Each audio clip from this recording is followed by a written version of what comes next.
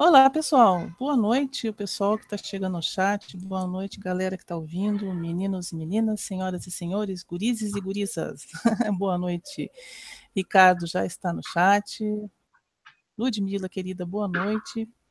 Hoje nós estamos aqui com o Douglas Albrecht. É assim que fala, Douglas? Assim mesmo. Pronunciou certinho.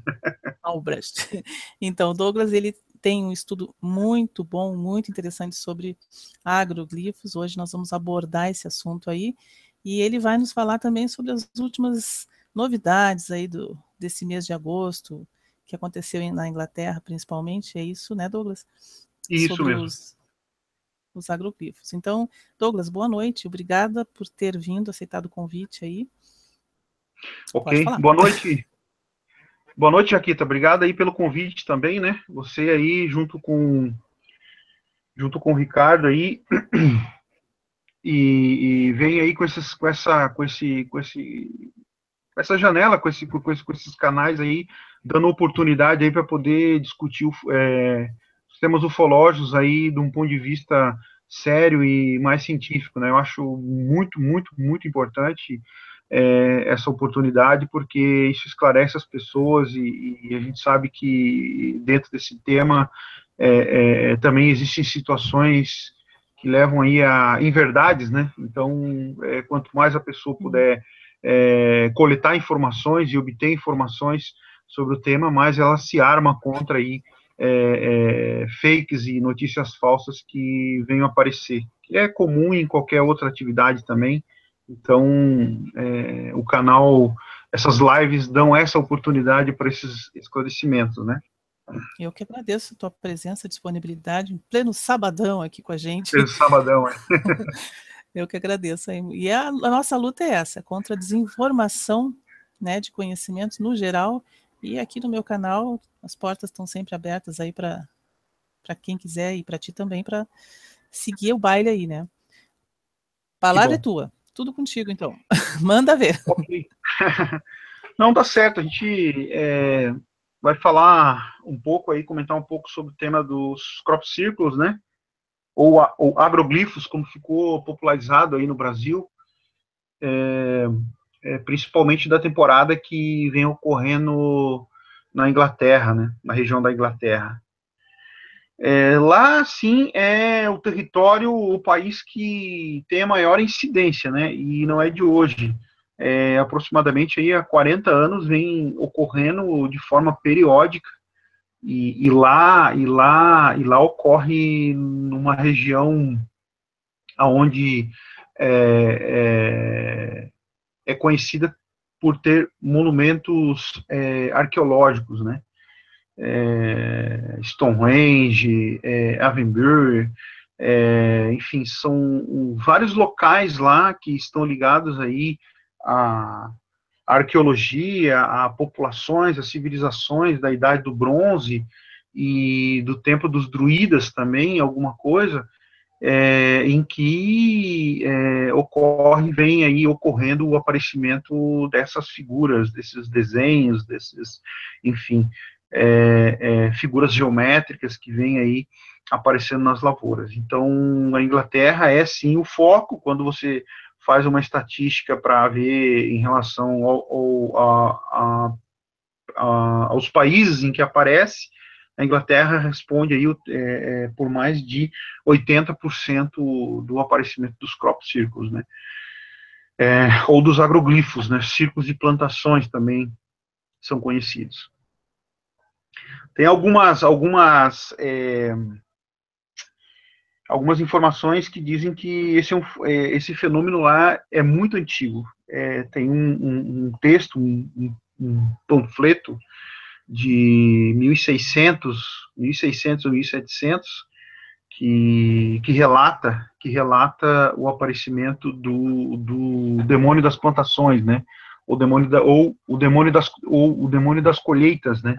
Onde a gravura mostra é, é, é, um demônio com uma, uma, uma enxadinha, com, é, com uma foice pequena, colhendo e empilhando os fardos de trigo e tal. Então, muito provavelmente esse fenômeno não é justamente algo recente, vamos dizer assim, recente quando a gente pensa em, em, em apareceu é, há 40 anos, é, é, ou seja, a partir da década aí de 70 ou 60, mas é algo que pode ter acontecido em outras épocas, né? E pode ter, de certa forma, ter sido registrado alguma coisa como esse panfleto. Tem gente que não acredita que esse panfleto é verdadeiro, por exemplo. Tem gente que acredita que ele também é, é, é falso, que ele é, enfim, resultado aí de é, é, publicações fakes aí com a intenção de des, é, dar descrédito ao fenômeno. E dentro desse processo de descrédito tem também é, muitos casos envolvendo aí fraudes, né? A questão do Doug e do Dave, né? É, os dois velhinhos lá, na, quando teve na década de 80 o auge do aparecimento desses fenômenos, é, é, se fez lá uma, uma, uma, uma divulgação de que é, eles foram lá e disseram, não, é a gente que faz e tal. É, isso também pode ser uma ação de contra-inteligência, né? Eu acho que é muito provável para poder despistar a atenção. Mas existem também é, é, agroglifos, é, digamos assim, falsos, né? Isso aí é, uma, é, algo que é algo que existe e já foi descoberto. Alguns grupos existem alguns grupos que se dedicam aí a esse a esse essa tarefa, é, na minha opinião árdua, né? Quem conhece o fenômeno, quem já teve lá, sabe é, de que dimensões nós estamos falando sobre esse fenômeno. Mas é mas eu acho que misturado aí é, é, tem uma fração verdadeira, tem uma fração inexplicável, né? E é justamente essa fração que a gente busca tentar entender desse processo. O fenômeno a gente não consegue entender ele só pra, é, simplesmente pelo fato de ir lá, ver a figura, ver o tamanho da figura, ver como as plantas estão dobradas, né? O fenômeno ele não vai só até aí, não tem como descobrir se o fenômeno é verdadeiro ou não só por esse tipo de análise é necessário analisar todo um contexto do entorno do local, dias antes ou dias depois, depoimentos do próprio produtor ou de pessoas que moram próximos, né? Isso tudo ajuda a criar, a criar aí uma, uma, uma, uma interpretação para a gente poder chegar e se aproximar o, o mais possível de uma explicação do porquê do fenômeno. É, deixa eu ver aqui algumas perguntas aqui. Pergunta, Ricardo é, Braga. Já está cheio de perguntas. Ah, é? Aqui, qual o maior crop já registrado? Bom, é, Ricardo, o maior crop já registrado, cara, tem, é uma é um é um que ocorreu próximo de Stone Range. Ele tem um nome. Eu sou muito ruim de memória, então ele tem um nome e foi um conjunto de mais de 150 círculos, mais de 150 círculos, se eu não estiver enganado, 150 ou perto de 200 círculos. Em termos de dimensão de lavoura, ele tinha assim como que de diâmetro assim aproximadamente uns 400 metros de diâmetro, que é gigantesco, dentro de uma lavoura é gigantesco. Esse é o que me vem na cabeça assim que é, é, eu lembro e eu lembro dele porque eu lembro que eu li eu li a localização dele ficava próximo de Stonehenge. Então assim, é, muito grande, muito grande, vários círculos de é, vários tamanhos que no final formavam uma espécie de estrela, uma espécie de estrela, né? Só com círculos, né? Eles iam, eles eram maiores no centro e iam diminuindo para as pontas da estrela. Esse é o maior. Mas eu estava olhando, fazendo uma revisão dos que apareceram esse ano é, na Inglaterra, o maior que apareceu esse ano na Inglaterra, eu fiz uma avaliação é, gráfica na escala, porque como ocorre numa lavoura de trigo, e a lavoura de trigo possui as marcas do trator, do, no caso que seria do pulverizador, né? Que a lavoura precisa ser pulverizada, é necessário aplicar inseticidas, fungicidas, ou seja, produtos químicos para poder é, é, é, proteger a lavoura. Então, é, é, e essas máquinas, elas possuem é, uma distância entre eixo que é, que é padrão, né? É, uma distância padrão, ou seja, a máquina, que o produtor que comprar aqui do Brasil, querer comprar uma máquina dessa lá na, na Inglaterra, ele vai ter uma máquina que vai ter as dimensões mais ou menos padrão, né? Então, de acordo, de acordo com esse cálculo, ele tinha ali cento e, 110 por 110 por 110 metros, ou seja, de uma ponta a outra, né? Tanto no sentido norte-sul quanto, quanto no sentido leste-oeste. Isso dá praticamente um campo de futebol, dá praticamente um hectare de área aonde foi feito, foi impresso, foi feito a figura, né? A área de abrangência da figura. O que é uma área, é uma área gigantesca, uma área gigantesca. Por quê? O de Prudentópolis, para vocês terem uma ideia, ele tinha aproximadamente 3 mil metros quadrados. Então, ele tinha 30% dessa área, desse maior círculo, dessa maior figura encontrada aí esse ano lá na Inglaterra, o que é uma coisa é, é, realmente colossal, né? E é justamente em cima desses dados é, que a gente deve pensar e a gente deve raciocinar é, que tipo de esforço e que tipo de equipamentos e quantas pessoas seriam necessárias para você fazer é, é, é, uma figura dessa na calada da noite, né? E a velocidade que você tem que fazer isso também influencia, porque se você está fazendo isso de forma clandestina, você não pode ser pego, né? E você, e se você for pego e o produtor quiser, ele pode acionar a polícia, porque isso é depredação de patrimônio privado, né? É, é, então, é, é, é essas situações é que a gente deve é, pensar e a gente deve levar em conta para poder realmente tentar ver se é possível uma ou duas pessoas, né?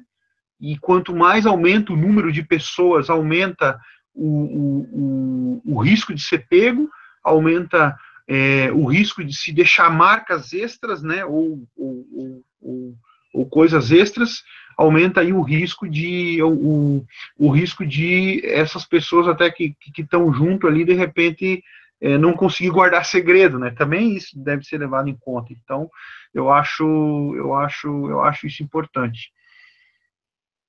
É, Ricardo Braga, o, o Ricardo está Pergunta 2. O Ricardo está escrevendo um livro. Tu um quer livro, que eu leia para ti? Perguntas, pra... perguntas e respostas. Olha lá, qual o crop mais antigo registrado aqui no Brasil? Bom, Ricardo, o mais antigo que eu lembro, assim, em termos de que ganhou a mídia, ocorreu em Ipuaçu, começou em 2008. É o que eu tenho registrado. Mas, assim, é, eu vou dizer para você que essa minha resposta talvez não seja tão completa. É possível que tenham ocorrido outros, mas não na cultura do trigo, entendeu? Possam ter ocorrido outros em outros tipos de cultura, em outras situações que talvez tenha passado batido, tenha, enfim, é, não sido registrado e tal. Mas, assim, falando de, de, de crop, falando de agroglifo, é, em que ocorreu a autenticação, a, a autenticação pelo pessoal da revista UFO, pelo, pela pessoa do Gemaer, foi quando começou ali em Ipuaçu, né? Isso foi em 2008, foi o primeiro. E, e, e de lá e de lá para cá são no mínimo nove anos, porque ano passado ocorreu também. É, é, e aí esse ano, é, desculpa, são oito anos. Aí esse ano, se ocorrer, vai ser o nono, né? Então, se ocorrer, vai ser o nono. Então, no mínimo oito anos aí vem vem vem ocorrendo. Todas, é...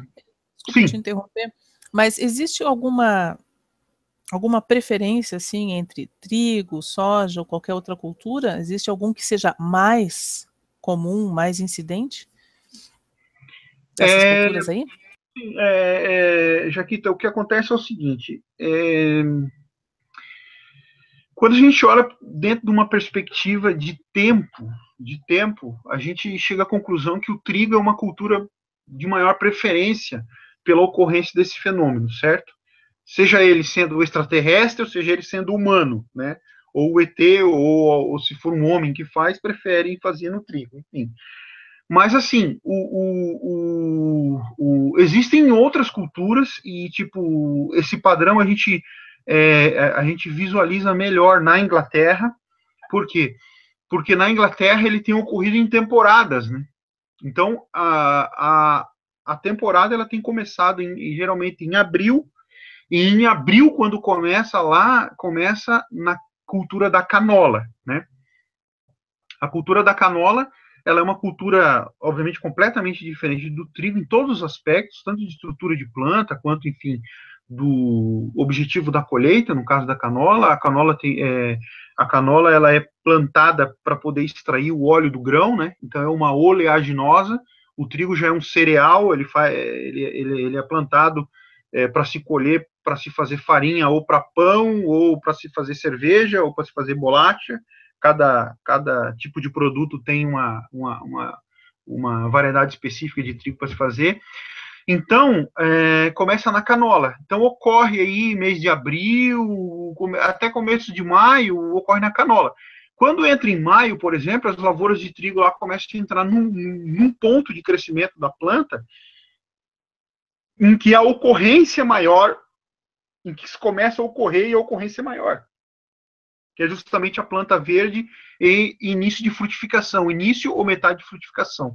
Então, quando começa no trigo, lá, é, não ocorre mais em canola. Mas, tipo assim, não ocorre mais em canola, porque nessa fase que começa no trigo, a canola lá já floresceu, ela, ela não ela não está mais com as flores com as flores amarelas, características de uma lavoura de canola que é muito bonito, né? São pequenas flores amarelas, né? que, que, que, que sai em cada, em, cada, em cada galinho da planta, sai uma flor, então, assim, é, é, é, fica um aspecto visual muito, muito bonito e atrativo, que atrai, isso atrai o teu olhar, você fica ali tentando entender, enfim, porque é, realmente é muito bonito. Então, então, pode ter uma ligação, assim, por exemplo, essa questão da fase, né? Pô, em canola acontece no florescimento. Em trigo também acontece a partir do florescimento, indo até a colheita, né? Em canola não acontece tão tarde depois do florescimento, ocorre só quando a, quando a lavoura está florescida. Então, isso, isso chama mais atenção é, por esse aspecto. E na Inglaterra, a partir de maio, você tem daí, nas áreas que possuem trigo ou cevada, áreas extensas para se fazer isso. Mas, assim, já foram detectados em milho, já é, em milho, já foi visto também na cultura é, da soja, e na cultura da soja eu tenho registro, particularmente na Argentina, tem ocorrido na cultura da soja, e o aspecto é completamente diferente, completamente diferente. Na cultura da soja, por exemplo, não há tombamento de plantas, há queima de plantas a queima de plantas. Como assim eu... queima de plantas? Agora... Queima. A planta fica queimada. Ah, quando acontece o, vamos dizer, o desenho, ela se queima. O desenho, o desenho ocorre na lavoura e o desenho dentro ali do local, as plantas estão queimadas, estão amareladas, estão, entendeu? Ocorre uma algum tipo de alteração. Isso aí eu ah, digo para você, é, eu digo para você porque eu, eu tive a oportunidade de ver a palestra de uma pesquisadora na Argentina que acompanha esse fenômeno lá e acompanhou duas vezes, duas vezes esse evento em soja. E lá em soja, e quando ocorre em soja, é, lá pelo menos as figuras que ela mostrou não são de tanta complexidade como as que ocorrem em trigo, são muito mais simples. São só círculos, ou são só triângulos, ou são só, enfim, uma sequência de círculos sem diferença de tamanho, do mesmo tamanho, não há uma, não há uma, uma, uma complexidade envolvida.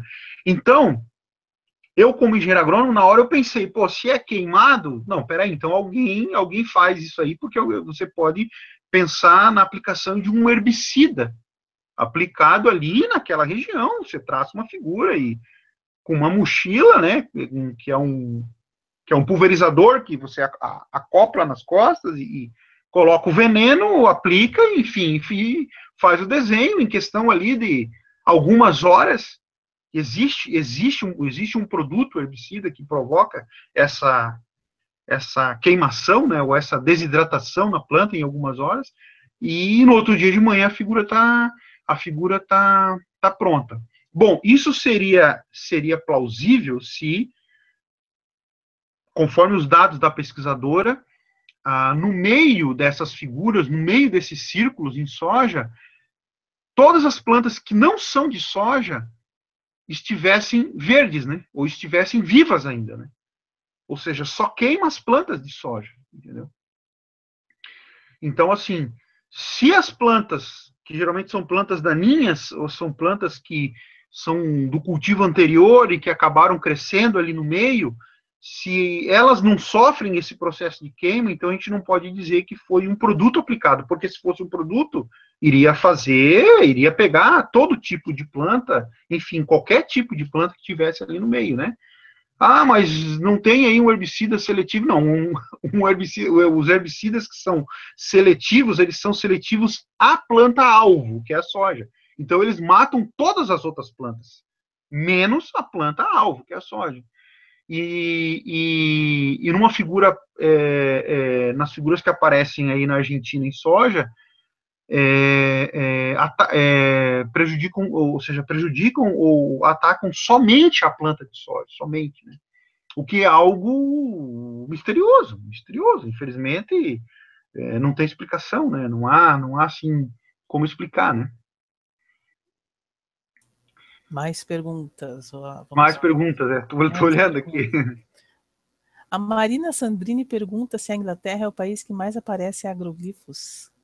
É, é. É.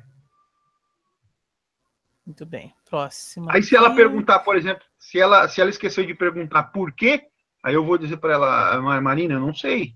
Eu não sei, quer dizer, existem várias teorias, várias teorias que envolvem desde a questão de estruturas é, arqueológicas, existe, existe uma teoria é, também de, de, da, da questão geológica do local. Por que da questão geológica do local? Porque assim, ó, ali onde aparece, tem aparecidas figuras ali na Inglaterra, aquele tipo de solo, é, é, numa, gran, numa grande região, ou na maior parte da região que abrange o aparecimento das figuras, são solos cujo o lençol freático ele varia muito, ele chega muito próximo da superfície e ele também baixa muito é, abaixo da superfície. O que, que é o lençol freático? O lençol freático é justamente um manto, um fluxo de água natural no solo, são como os rios, são, são como, como rios subterrâneos, só que dentro do solo. É, não, não, é, alguns possuem galerias, mas são poucos. A maioria, esse rio corre dentro dos poros do solo. O solo é poroso, né? E, e algumas vezes, quando ocorre na rocha, ocorre dentro de galerias dentro da rocha. Bom, isso ocorre por quê? Porque ali naquela região é, é, existe uma camada de é, rocha calcária.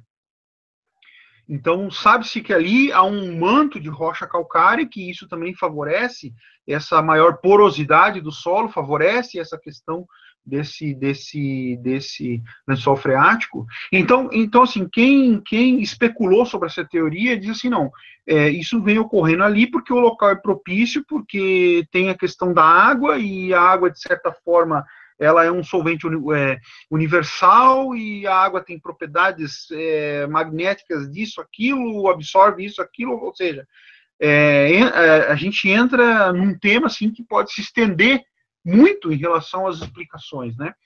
Agora, isso é interessante porque é o seguinte, em Prudentópolis, por exemplo, é uma região de muitas cachoeiras também. É conhecida, é uma região conhecida aqui no Paraná por ser uma região que comporta uma, uma grande densidade de cachoeiras ao redor. E, obviamente, cachoeira tem a ver com água. Então, essa questão da água, ela também, ela também pode ser. Pode estar diretamente ligada, né? Pode estar, pode estar, entendeu? Ah, por que, que não acontece em, em Guarapuava? Por que, que não acontece em, sei lá, em Porto Alegre, por exemplo? Não sei. Pode ser que essa questão da água também tenha envolvida, só água subterrânea ou só água de cachoeira, não sei, alguma propriedade. Enfim, se a gente for especular, a gente não, acaba. Não... Hoje aqui. Não, eu ia dizer, eu ia dizer os, os, os agroglifos eles não são é, criados a ermo, né? Assim, a esmo, quer dizer. Não, eles têm, é, eles têm um local que é, vamos dizer, estudado, seja lá quem faz, é uhum. estudado porque é um lugar, é um lugar que tem as suas características de solo, de plantação. Justo. Eu estou, eu polar, de latitude também, Justo. altitude. Justo. Eu estou 100% convencido disso, que o local é escolhido, né? Ou seja, quando a gente fala, por exemplo, a questão da latitude, da latitude e da longitude, se ocorre mais em trigo, a gente por aí já define um local ideal, porque a cultura do trigo ela tem uma latitude, uma longitude ideal para se cultivar ela, né? Então, por exemplo, você não vai ter uma lavoura de trigo de mil hectares lá no sertão da Bahia, por exemplo. É muito quente lá, ou seja, a cultura, a própria, a própria, a própria é, é, é, genética da planta, ela não está preparada para suportar essa essa questão, essa diferença de latitude tão grande, né? Então, assim, já, já há um limite devido a essa questão característica do cultivo. Agora, não é sempre em trigo que aparece, aparece em outros cultivos, o que leva o fenômeno também para outras latitudes e outras longitudes, né? Não com tanta frequência como ocorre em trigo. Douglas, deixa eu te perguntar, se que eu me esqueça, porque eu sou esquecida, né? o pessoal já me conhece, a pessoa esquece. Mas uh, em relação a esses, esses crop circles da Inglaterra, é, surgiram alguns novos agora no início de agosto, né? Certo. Segundo umas publicações do próprio Gevaer, inclusive. Certo. É, elas já foram, uh, algumas foram refutadas, outras não, foram já testadas como, como é, verídicas, vamos dizer assim, ou ainda não se tem nenhuma conclusão a esse respeito? E se existe Bom, alguma mensagem, alguém por acaso já decifrou alguma forma de mensagem? Porque tem umas que parecem mensagens, né? Tem uns agroglifos que parecem umas mensagens. Sim, sim. Na realidade, assim, de, Jaquita, deixa eu te falar, o, a, sobre, sobre esses que, que, estão, que, estão, que estão ocorrendo aí na Inglaterra, ou que já, ou que já ocorreram, né? Só, só um instantinho que eu vou fechar a porta aqui, só um instantinho.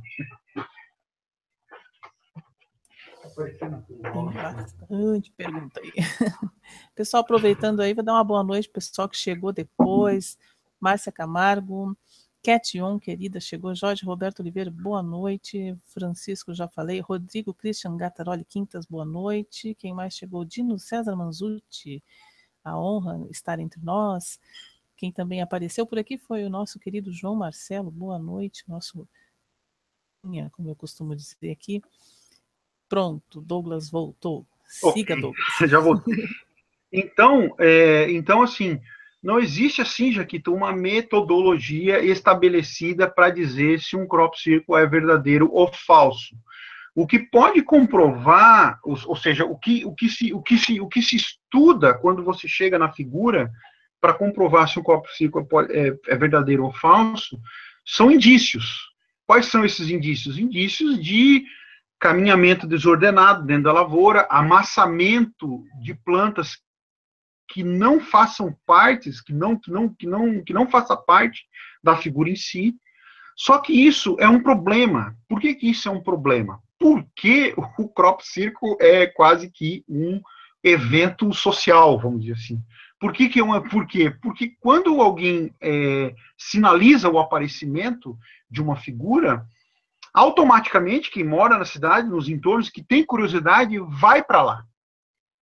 Que foi o que justamente o que aconteceu no de Prudentópolis ano passado. Então existe vídeos no YouTube de pessoas que filmaram, que foram de moto para lá, mas assim com, com, com o céu ainda é, nas primeiras auroras do dia, você entendeu?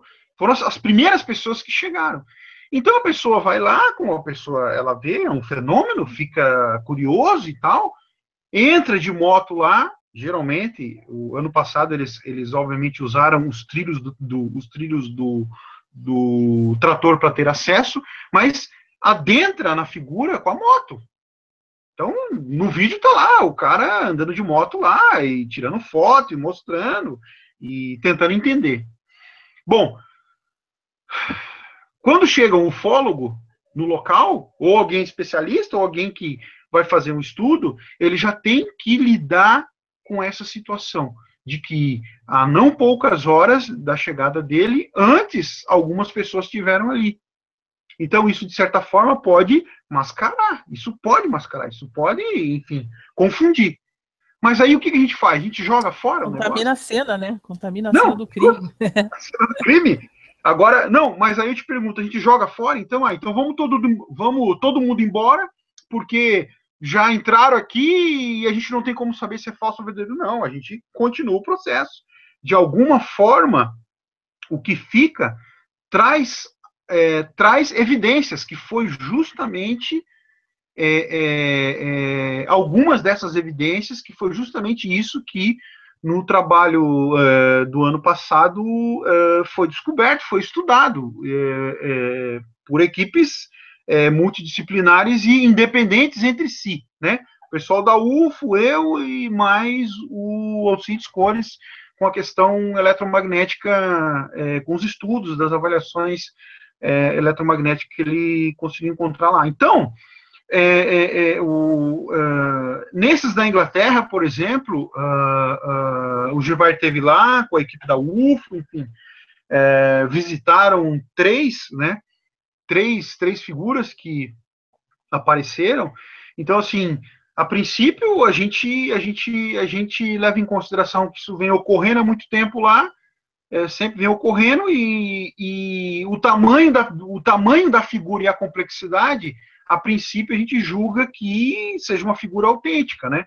O que, o que é uma figura autêntica? Uma figura autêntica, é, a gente tem que pensar que ela não foi feita por, por alguém como a gente, né? Tipo, um humano, um terráqueo, vamos dizer assim. Pode ter sido feito por extraterrestre? Pode. Pode ter sido feita por algum outro tipo, é, por uma sonda ou por um equipamento que não pertença à nossa civilização, que, que, não, que não seja a gente que tenha feito? Pode. Então, isso é, esse, esse é justamente o ponto da questão em que a gente tenta responder com essas avaliações, com essas avaliações da planta, é, enfim, é, do, é, da planta e do tombamento. Por exemplo, em, em relação ao tombamento, quando eu comecei a pesquisar é, é, é, sobre o tema, eu tinha a certeza que todo crop circle verdadeiro iria apresentar Uh, uh, curvaturas no caule, ou seja, o, o, o, o caule ele iria para o chão, ele, ele iria ficar no sentido horizontal, rente ao chão, por um processo que curvasse o talo, curvasse o talo e essa planta ficaria curvada. Só que quando você lê os trabalhos de tudo que já foi feito e pesquisado sobre os crop circles, de pessoas antes da gente que pesquisaram, e que até alguns publicaram em revistas científicas sobre o fenômeno e sobre essas características do fenômeno, a gente chega à conclusão, por exemplo, que eles, eles falam nesses trabalhos que a curvatura do caule ela é comum em numa quantidade de 1% das plantas. 1% das plantas. Bom, mas o que é 1% das plantas? Bom, numa lavoura de trigo, 1% significa assim, ó. Na lavoura de Prudentópolis, tinha aproximadamente 95 a 100 plantas a cada metro linear. Se eu tenho 1% das plantas que podem apresentar essa, essa, essa, essa situação extremamente extraordinária, não explicada pela agronomia, não explicada, porque a curvatura de um, de um, de um talo nessa altura da fase da lavoura, ela é impossível de forma natural. Né? Se você quiser fazer com que a planta se, se, se curve, você vai quebrar o talo, porque o talo é muito fino. Significa você encontrar uma planta em 100, uma planta em 100, uma planta em 100. Então, isso torna, a, isso, isso, isso transforma a coisa também como que meio que uma agulha no palheiro, entendeu? porque é, são 100 plantas em um metro linear, mas é, é, é, numa lavoura de trigo é, um, é, uma contagem considerável, né? E, e a visão, o, o, enxergar isso também é, é, torna um pouco difícil, porque todas as plantas são iguais, tanto em coloração quanto em posição, uma atrás da outra, né? Então isso, isso é complicado, não é fácil. Não é muito fácil né, fazer essa autenticação. Mas, assim, é, há muitas outras características que, que, que, que, que autenticam um, um crop círculo como, como realmente, vamos dizer assim, verdadeiro, como sendo feito por algo extraordinário. Uma delas é a proporção da figura, a proporção da figura e a complexidade da figura, né? A complexidade da figura também, ela, ela também é um meio, é um meio de autenticar, né? Ok. Uma pergunta aqui do Dino Café. O que acham da mensagem de Arecibo? Bom, a mensagem de Arecibo, Dino, eu vou dizer para você, ela é uma mensagem é, é, uma mensagem interessante. Eu, assim, eu particularmente, assim, de forma particular, eu acredito que seja uma mensagem verdadeira, certo? Eu acredito que seja uma, eu acredito que seja uma mensagem verdadeira. É, a Luz Pringle, né, que, é, vamos dizer assim, nessa época é, é detinha, assim, a, a capacidade de é, ir lá nos locais e, e, tinha helicóptero disponível, porque nessa época que apareceu de Arecibo, os drones ainda, é, pelo menos não a nível civil, existiam, né, mas ela tirou fotos, enfim, acabou investigando e, e, e tirou fotos e realmente é, é, constatou assim sendo sendo sendo um crop verdadeiro, né? Eu acho que eu acho que é uma mensagem é, é interessante, é um crop interessante. É, fica também a dúvida, né? Porque é, Arecibo ocorreu há mais de 15 anos atrás. Então, assim, fica a dúvida, poxa, mas por que que nessa época aí é, teve essa mensagem tão explícita e, e, e os, e, e, os crops de agora, eles não, não, não têm, assim, uma mensagem tão explícita e tal.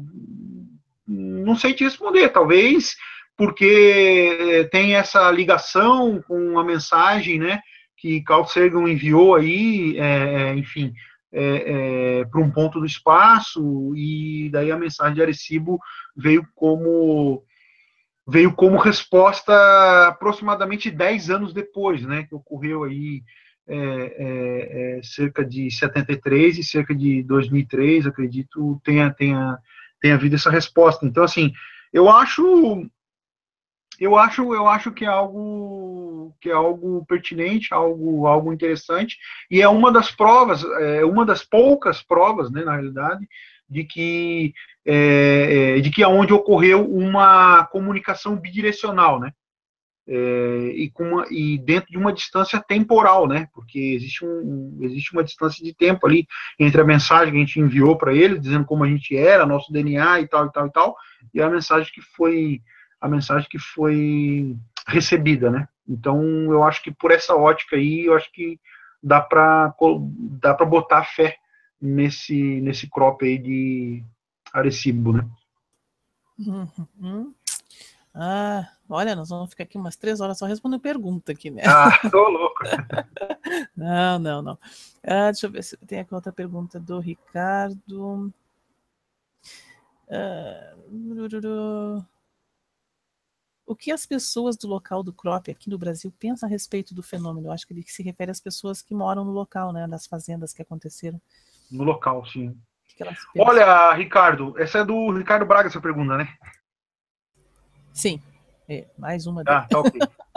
é, Ricardo, Ricardo, é o seguinte, eu acho que você já deve ter visto o documentário Círculo, é, Círculos, né? Círculos, né? É, é, que passou, passou no passado no History aí, eu acho que em novembro, novembro, dezembro. Esse documentário ele é muito bom porque ele, ele registra justamente a reação das pessoas locais, entendeu? Dos habitantes locais. Quem tiver um pouquinho mais de atenção, quem, quem, quem vê novamente esse documentário com um pouquinho mais de atenção vai ver é, é, uma correlação, ou seja, é, é de algumas pessoas é, não com o não com o aparecimento do círculo em si, mas com o fato de estar ocorrendo e essa pessoa estar envolvida com essa ocorrência.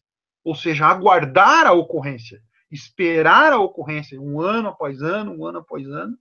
Isso é, isso é, é explícito ali no documentário, né? A gente vê também a reação de produtores que não acreditam, de produtores que acham que é alguém que faz, enfim, a gente vê todo tipo de reação, mas assim, É, é, eu, particularmente, é, no do ano passado, eu, eu conversei com o proprietário do que ocorreu no ano anterior, em 2015, né? Que é o Tito Santini.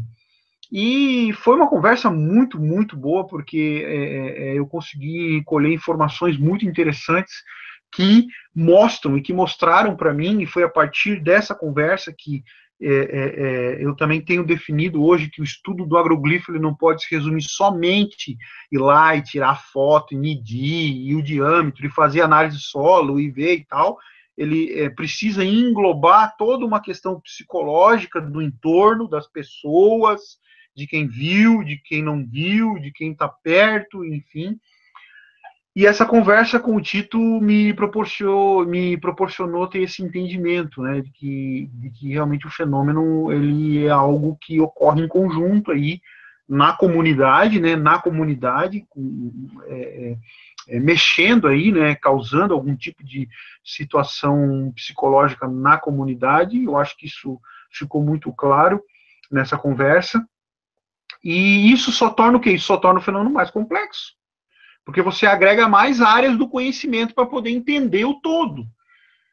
Quando a gente apresenta dados sobre a questão do solo, das plantas, a questão das dobras, a questão é, da emissão de radiação eletromagnética, a gente está apresentando dados só de uma parte, que não explicam o fenômeno de forma alguma o fenômeno tem que ser entendido como um todo. É preciso ainda as questões psicológicas que estejam envolvidas para a gente poder entender realmente o que, que faz aquilo, como que se faz aquilo, entendeu?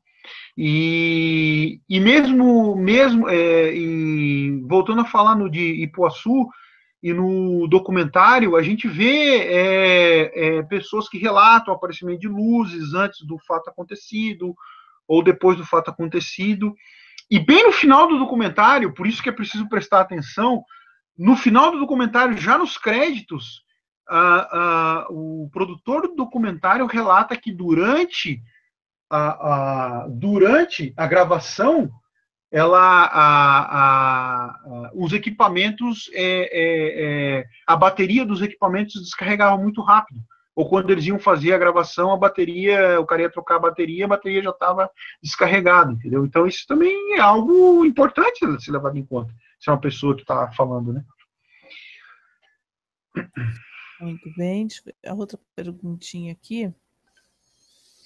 Ah, quer tomar uma água, Douglas? Deve estar tá cansado de falar. Não, não, não, não pode ser. Eu estou só aqui regulando o horário aqui, mais 15 minutinhos. Certo. É, é infelizmente, pessoal, é, tem bastante pergunta aqui para o Douglas, mas é, ele não vai conseguir respondê-las todas hoje. É, então a gente está aqui meio que sorteando, né, um pouquinho para cada um para não ficar muito é, muito igual, né? Então, desculpa. Então vamos tentar responder na medida do possível, né, Douglas? Douglas, uma pergunta que eu vi aqui, deixa eu ver, nem sei de quem, da Ludmilla. Ela pergunta se existe alguma relação entre a abdução e os crops, ou seja, quer dizer, não, eu fiz errada a pergunta. Ela pergunta se houve abduções quando ocorreram os crops.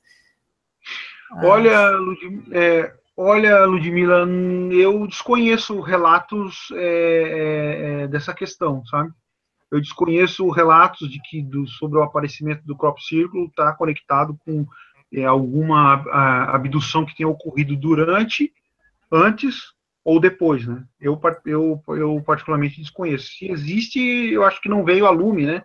Não veio aí a, a, a, na imprensa e os próprios estudos dentro da ufologia não registraram. Mas é, eu não acredito muito que o evento, o fenômeno crop circle seja um fenômeno é, ostensivo ou se transforme num fenômeno ostensivo como, o, como, as, a, como as abduções. Eu acho que o, o objetivo dos agroglifos são outros, são outros, a gente precisa ainda descobrir, né? Existem espe especulações sobre o objetivo, né?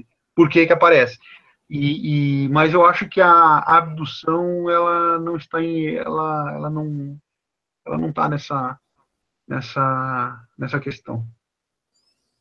Ah, deixa eu ver se tem mais alguma coisa aqui. Tem bastante, né? Deixa eu escolher aqui, vamos, vamos sortear. Ah, não tem alguns comentários aqui também. Se tu tiver alguma que esteja lendo aí, o Douglas pode. Deu, vou responder mais uma do Ricardo aqui. O Ricardo é perguntador, cara. Perguntador ah, é, é curioso. Carioca curioso. mesmo, né? Pergunta e tal. É. E... Olha ele aqui, ó. Me xingou pergunta... pulando as perguntas dele. É. Olha aqui, ó. Sabe dizer se existe alguma, algum acompanhamento dos estudos dos CROPS por parte das Forças Armadas? Não, Ricardo. Forças Armadas, infelizmente, eu não tenho conhecimento que um militar ou alguma junta militar tenha ido é, nesses crop circles estudar ou pesquisar. Na Inglaterra, na Inglaterra também não. Eu, eu andei olhando uns vídeos aí que uns helicópteros do, do, da Força Aérea Britânica sobrevoou alguns e tal, mas não sei se é verdade também. Não sei se, não, se esses vídeos não fazem parte aí do, do, do dos, dos vídeos alarmistas, né, de querer criar alguma coisa. Mas, assim, eu não tenho nenhum conhecimento. Eu acho que, eh, em relação a isso, é, é, as Forças Armadas não, não tomam parte, né? Uhum. É, é, é interessante, né, que eles né, não, não, não, não, não se apoderem, se apoderem disso, também, também, né? Sim, sim, sim, é interessante, é interessante. Isso, é, essa questão dos crop, é, é Jaquita, eu acho que ela mais ou menos leva em conta o que a gente estava conversando antes, em off ali, sobre o caso do Arthur Berletti, né? Eu acho que, como há, é, ou seja, é, desde a década de 80 e 90, há também essa questão é, fake, né, dos, dos crops que são feitos por, por, grupos, por pessoas que querem se divertir, sei lá, é, querem aparecer, né? Eu acho que, de certa forma, o, a maior parte do pessoal acredita que isso é broma, né? Acredita que, ou seja, julgam os que realmente têm alguma coisa a ver é, é, em relação com algo inexplicável, julgam por esses que são que são falsos, entendeu?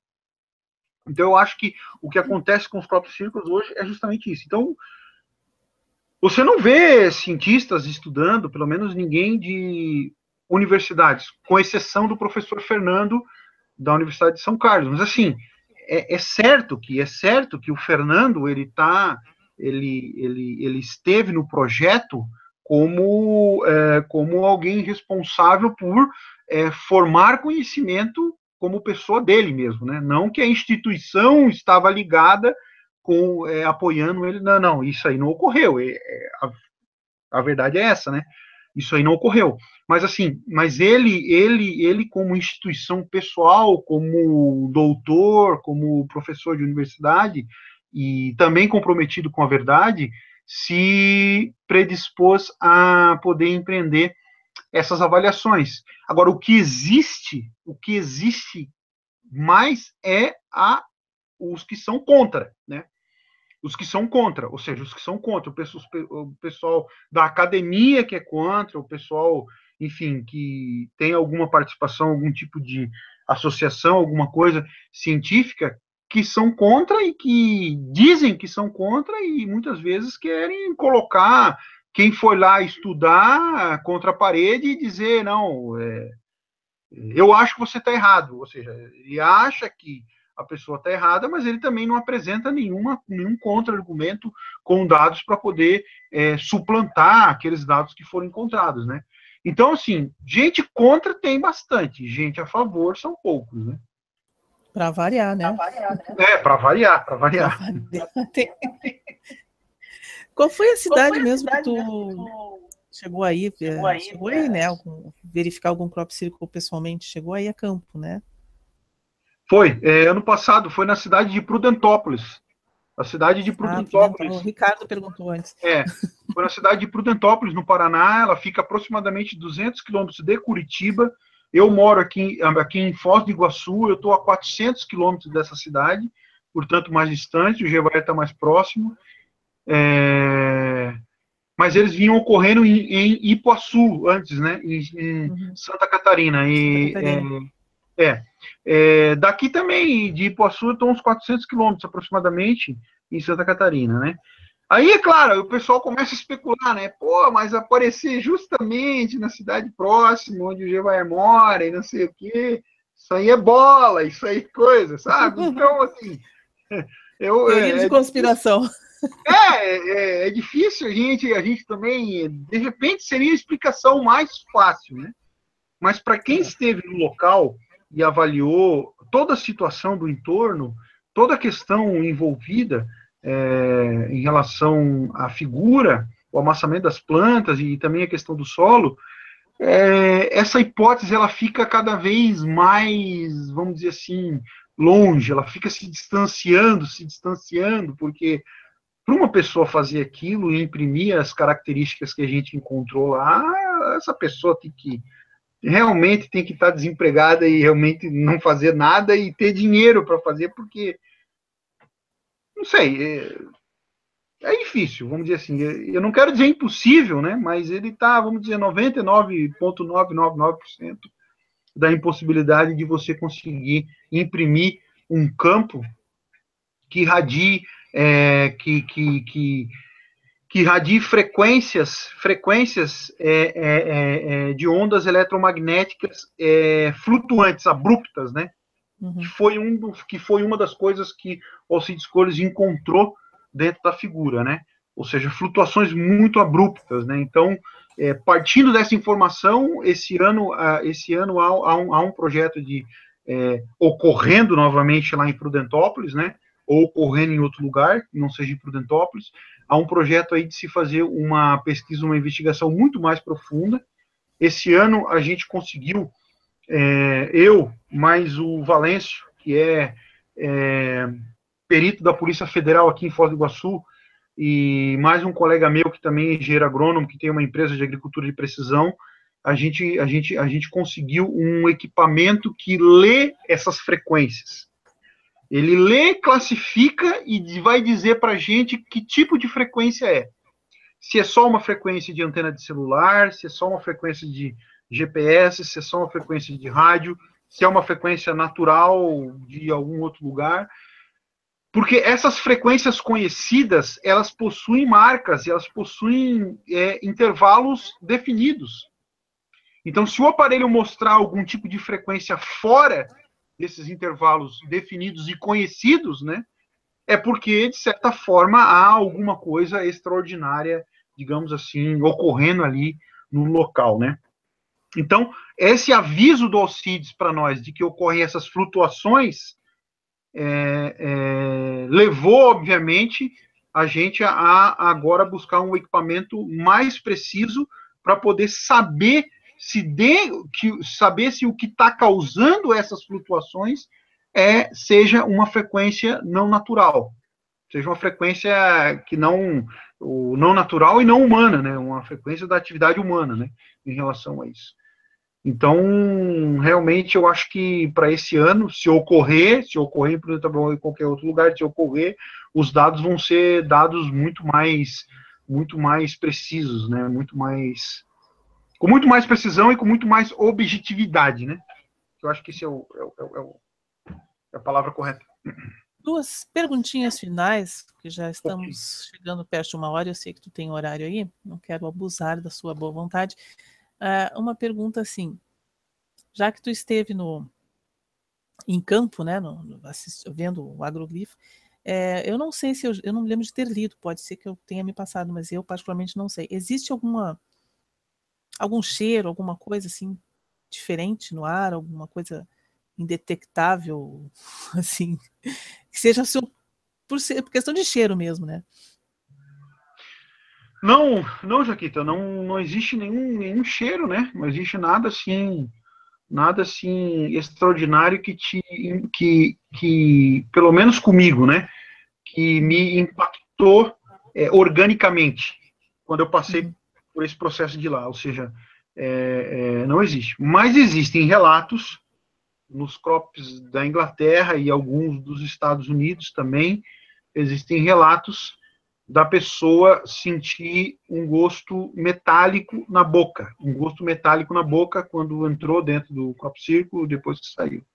Uhum. Esse gosto metálico na boca é característico de radiação, de contaminação por radiação, e radiação forte. Para você chegar nesse ponto de sentir um gosto metálico na boca é porque o que está é porque você está muito próximo de uma fonte de radiação é, forte, entendeu?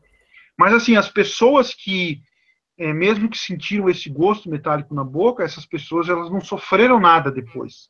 Elas não ficaram doentes, elas Sim, não morreram, entendeu? Não deu efeito colateral. Não deu, não deu. Simplesmente quando estava dentro do agroglifo, né? Então, assim, é, mas esse, eu só posso falar por esse de Prudentópolis, eu não posso falar pelos de Ipuaçu, porque eu não fui lá, não precisei, não fui lá, então eu não posso falar. Mas esse, esse de Prudentópolis, eu particularmente, não, não, não, não observei nada, nada extraordinário organicamente, que pudesse ter algum impacto orgânico. Agora é o seguinte, mentalmente, mentalmente, por parte da minha pessoa, eu acho que de outras pessoas também, vá, vá ocorrer isso, ocorre, você fica num estado de perplexidade, entendeu? Tentando entender como é possível, por causa das dimensões da figura, certo? E outra coisa. Do, do, do, sim, do, outra coisa. A escultura, a, né? Just, é quase uma escultura, né? Justamente, justamente, justamente. Esse é o efeito, ou seja, a harmonia com que ocorre o tombamento dessas plantas e como elas ficam no chão, em algumas partes tombadas em forma de redemoinho, entendeu? Então, essa essa essa essa essa essa questão para quem para quem entra lá e, e, e, tem um olhar mais crítico é uma é uma questão realmente que faz faz a gente refletir. Então a gente fica num estado de perplexidade. Agora, quem não acredita, quem acha que aquilo é feito com um pedaço de pau, corda amarrada no pescoço, entendeu? Que já tem isso definido, não vai sentir nada nem isso, entendeu? Porque a pessoa já está com aquilo definido na cabeça. É óbvio que ela não vai é, se ater aos detalhes, entendeu? Se ater é, às situações que vão mostrar que é, aquilo ali é algo é, é, é algo que é, possa ter algo de extraordinário dentro daquele processo. Então, men mentalmente, para quem realmente vai com um olhar mais crítico, é, realmente fica mais letárgico, fica mais pensativo e tenta encaixar da possibilidade de fazer aquilo, né? Organicamente, nada. Organicamente, não. Eles são perfeitos, né? Perfeitos. Os desenhos são perfeitos e o trigo amassado ali, deitado, também fica perfeito. Faz também um redemoinho muito bonito, diga-se de passagem. Sim, e a última sim. pergunta aqui, uhum. para não te prender mais, eu vou, vou sortear aqui a pergunta do João, que eu não fiz anterior. João Marcelo pergunta: na sua opinião, poderia ser uma inteligência querendo criar um, um mito, um fenômeno sociológico? Como é que é o nome do rapaz que fez a pergunta? João Marcelo. João, João Marcelo. João, sua pergunta é, é, é realmente muito, muito interessante e oportuna para a gente finalizar o bate-papo. Por quê?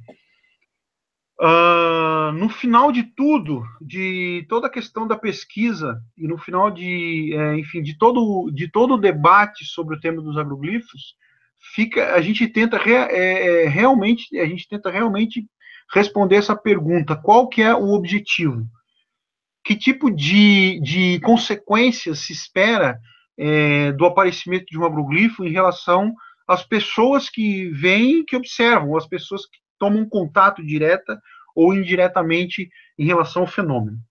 Eu vou falar para você o seguinte: existe algumas especulações sobre, sobre o objetivo dos crop circles. Dentro dessas especulações existem realmente algumas poluições.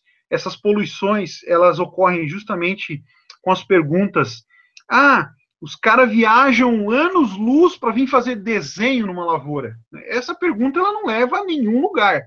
Ela não leva a nenhum lugar. Eles adoram fazer, né? Eles adoram não, fazer é... esse comentário. Isso é a primeira meu, coisa meu que comenta. Essa pergunta, essa pergunta não leva a nenhum lugar. Por quê? Porque você, porque você que está perguntando, você não sabe qual que é o objetivo. Então, esse tipo de pergunta ela não, não, ela não tem sentido. O que a gente tenta, o que a gente está tentando explicar, e há uma linha, há várias linhas de pensamento em relação a, a, isso. Eu tenho uma linha de pensamento, os outros meus colegas têm outras linhas de pensamento, muito provavelmente o pessoal da UF tem, tem uma linha de pensamento. A minha linha de pensamento, ela, ela, ela, ela engloba também a, a, a, tese, é, a tese espiritualista no processo, tá? Tem gente que tem uma linha de pensamento que não engloba a tese espiritualista, acredita realmente em algo muito material, em algo realmente muito material que possa estar ocorrendo. Eu não acredito que seja 100% material esse processo dos copos círculos, eu acredito que, há, que haja uma influência, é, enfim, ligadas a, a, a, a, dimensões extras, né, que possam estar envolvidas, seja tanto é, os seres é, é, dessa dimensão, uma dimensão mais densa, mas que possam estar aí também junto com seres aí de uma, de uma, de uma dimensão mais fluídica, né, que possa estar envolvido nesse processo. Mas eu, assim, na minha opinião, pelo que, pelos poucos dados que a gente tem, e é, é, é, eu tenho assim a impressão que de repente o, a figura, o crop circle seja um, um, uma, uma, uma espécie de analisador analisador é, é, é, de seres humanos é, como um todo, não só análise orgânica, física, material, mas análise espiritual, perispiritual, enfim, energética, né? Trocando em outras palavras, como um todo. Essa é a minha opinião. Por quê? Porque assim, ó, a gente descobriu no Diprudentópolis de que o agroglifo foi feito em um lugar específico da lavoura. Um lugar específico da lavoura que continha uma alta quantidade de alumínio no solo, que é um elemento, é, é, é, que é um metal, né, um elemento químico, é um metal paramagnético, ele se magnetiza quando está próximo de uma fonte magnetizante, e quando essa fonte se afasta, ele perde as suas propriedades magnéticas. Esse é um detalhe interessante é, o solo, a área, a análise de solo mostrou que ali na lavoura, e a própria imagem dos drones, as fotos dos drones mostram que ali é um local, é um, é um local diferente, é um local diferente em relação à questão de nutrientes no solo. Esse é um ponto. Bom, se aquele local ele foi escolhido para fazer a figura, é porque deveria existir um objetivo de algum tipo de funcionamento de alguma coisa em relação uh, a própria figura, né? Outra, outro, outro fato que, para mim, para mim, de forma particular, gente, para mim, de forma particular, isso não é o pensamento dos outros pesquisadores que estudaram a, a, a figura, de forma, de forma particular, os dados é, é, encontrados pelo Alcides Cores dessas flutuações eletromagnéticas no local, também um pouco me, é, é me aproxima dessa tese, por quê? Porque, como haviam flutuações, é, na minha opinião, é possível que algo estava funcionando ali a um ritmo frenético, e esse algo estava funcionando e parou de funcionar depois que foi colhido o trigo. E por que, que eu digo isso? Porque o próprio Alcides voltou 30 dias depois da primeira ida lá, e quando ele voltou, o trigo já tinha sido colhido, já não estava mais lá, a figura já não era mais visível, e quando ele voltou no local é, onde tinha figura, devido às, com as coordenadas é, geográficas do GPS, ele, ele, ele viu com, com, com o aparelho dele, nas mesmas condições de medição, ele viu que não havia nenhum tipo de flutuação, ou não havia as mesmas flutuações que ele tinha medido 30 dias antes. Ou seja, alguma coisa, então, parou, parou de funcionar ali, né? Parou de funcionar. Então, assim, essa é uma hipótese. Essa é uma hipótese. Como tudo na ciência, as hipóteses devem ser testadas à exaustão. E às vezes, e às vezes, é, a exaustão ela pode levar anos ou gerações de pessoas estudando, né? Isso acontece na física. Isso aconteceu com a teoria da relatividade de Einstein. Isso está acontecendo com a teoria das cordas. Então, se estu, são teorias, são teorias, são teorias, e se estuda e se, e se encontra evidências de que essa teoria é a correta, de que essa teoria está no caminho certo, de que realmente essa teoria responde essa, essas questões. E assim como essa é, é uma teoria, é uma linha de pensamento, existem outras. Só que essas pessoas que têm essas outras teorias, elas precisam o quê? Colocar a mão na massa é, traçar experimentos ou traçar avaliações, planejamento de avaliações, que possam confirmar a sua teoria ou não, que é o mesmo que ocorre com a minha teoria. Ou seja, se a gente chegar, é, ocorrer esse ano e chegar e ver que esse padrão de alumínio no solo não está presente, bom, mudou a coisa.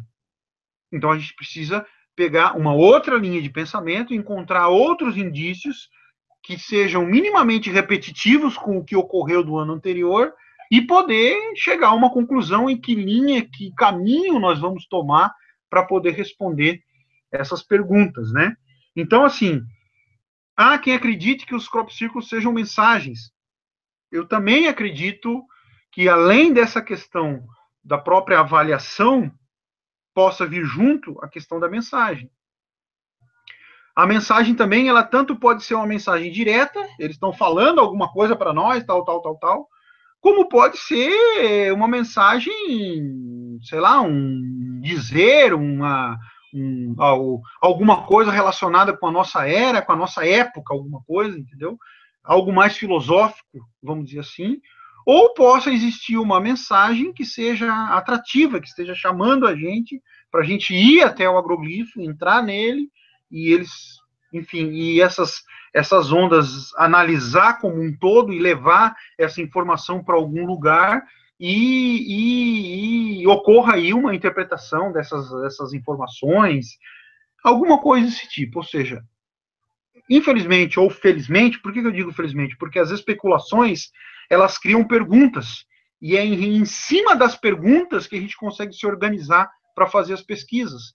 Então, é, é, essas, essas, essas, essas, essas especulações criam várias, várias perguntas que levam a várias, várias interpretações e que podem levar a vários e vários resultados. Mas uma coisa é certa, cada época vai ter a sua explicação. A não ser que chegue o dia em que nós realmente conhe conheçamos a resposta definitiva sobre do que, que causa, quem é o causador desse fenômeno, qual o objetivo desse fenômeno e se ele ocorre desde agora ou já há muito tempo. Eu acho que esse dia vai chegar e enquanto ele não chega, a gente tem que fazer a nossa tarefa, o nosso papel como é, investigadores, como curiosos, né, para poder ir o máximo, se aproximando o máximo, o máximo, o máximo da verdade. Então eu, eu acredito, eu acredito nessa, nessa, nessa questão. Muito bom. Não tem nem palavras para agradecer a tua presença aqui. Nossa, excelente. O pessoal está adorando ali no chat. Olha, gente, desculpa, tem muita pergunta. É, não, não deu para responder todas, mas eu acho que o Douglas, quando puder, ele volta, né, Douglas? Para nos prestigiar mais um pouquinho. Não, com certeza, com, é, com certeza, Jaquita. E não dá também, spoiler. É, é, não dá spoiler. É, não, não.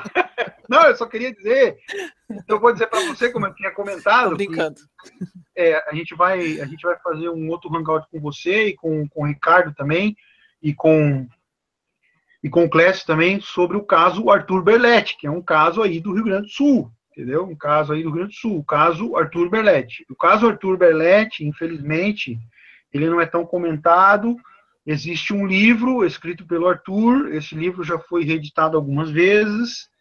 Eu tive a oportunidade de ir em Sarandi em 2016 e falar com a filha dele, a Ana Berletti, conheci a esposa dele também. Só que eu estava de passagem, não deu para fazer muita coisa. E aí, e aí eu comprei esse livro dela, das mãos dela, com uma dedicatória é, da qual me orgulho muito por ter, por ter, por ter esse livro em casa. É, e, e é, é, é eu li o livro e, enfim, eu fico até um pouco indignado, porque depois que eu li o livro, eu fui buscar saber quais eram, quem tinha escrito sobre o caso Arthur Belletti na ufologia no Brasil até então. E eu descobri alguns artigos, tanto na revista UFO como fora dela, em alguns portais aí na internet, que falavam sobre o caso. Mas, infelizmente, não falavam toda a verdade e também não falavam o quê?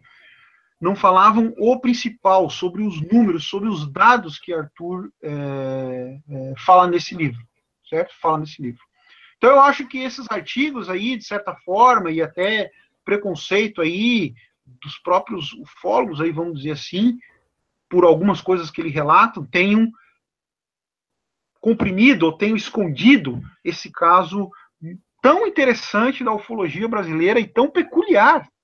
É, é uma, é, eu acho que é a abdução mais peculiar que se pode dizer é, em relação a isso, em relação aos casos de abdução, outros que existem, tanto no Brasil quanto fora. Então é um caso muito rico, muito, muito, muito rico, e, e eu estou preparando um artigo agora para ser publicado, mas quando eu terminar esse estudo do artigo, eu, quem me der a oportunidade de fazer lives aí, eu gostaria de comentar para poder mostrar, ou pelo menos tentar recuperar um pouco é, da, de algumas desinformações que foram passadas em relação a esses, em, em relação a esses artigos que, que foram publicados, né, em relação ao caso Arthur Berletti.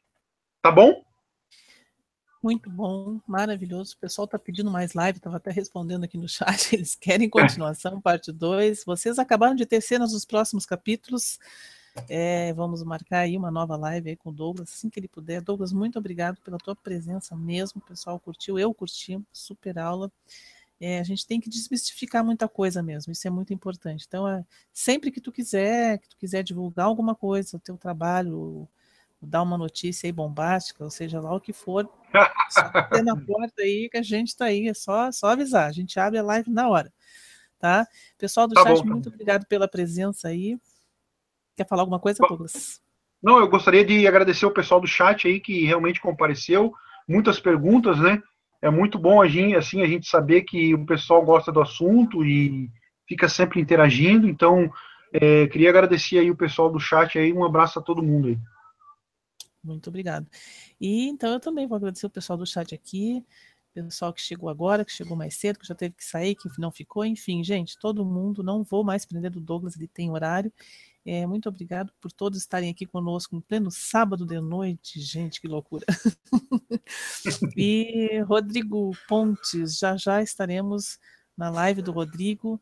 É, chega lá, pessoal, hashtag Vim pelo Café com Pimenta. Assim que ele abrir, estaremos lá mais uma vez, conversando com vocês aí.